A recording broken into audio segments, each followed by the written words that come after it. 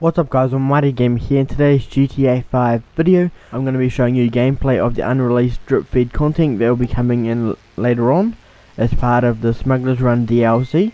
So this gameplay is from Foxy Snaps, I'll leave a link in the description below to his YouTube channel and Twitter. He's one of the best leakers out there and has all his content out before everyone else. So if you want to see images of the vehicles and everything else before they come out, go check him out on Twitter.